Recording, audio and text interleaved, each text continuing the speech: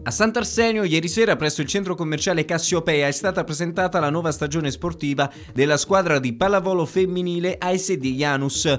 Alla conferenza hanno partecipato tra gli altri il presidente Katia Vimborsati, il vicepresidente Arsenio Spera e il segretario Maria Giovanna Rescinito.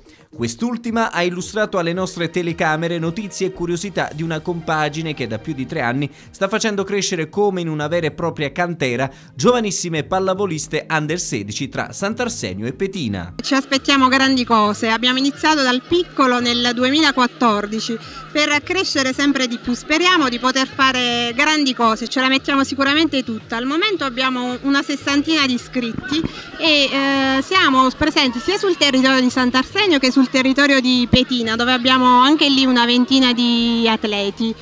Eh, iniziamo con il mini volley, ci sono bambine dai 5 anni in su per eh, proseguire con la categoria under 12, under 16 e seconda divisione.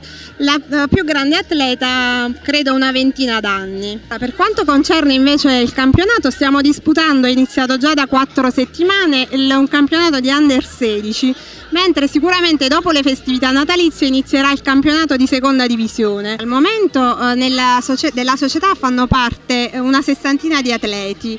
Eh, siamo presenti sia sul territorio di Sant'Arsenio che sul territorio di Petina dove abbiamo una ventina di iscritti.